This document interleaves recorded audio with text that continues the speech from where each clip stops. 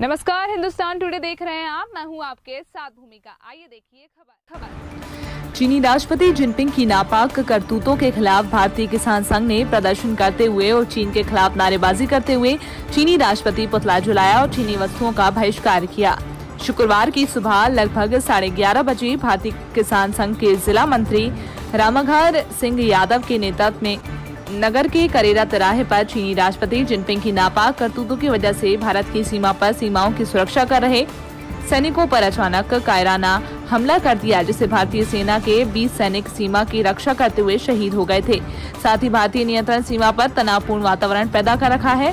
साथ ही सौहार्दपूर्ण वातावरण के बीच तनावपूर्ण रवैया अपनाने की मंशा की घोर निंदा करते हुए भारतीय किसान संघ ने चीनी राष्ट्रपति जिनपिंग जलाते हुए पहले प्रदर्शन करते हुए जमकर नारेबाजी की और चीनी वस्तुओं का बहिष्कार करते हुए उन्हें भी पुतले के साथ दहन किया।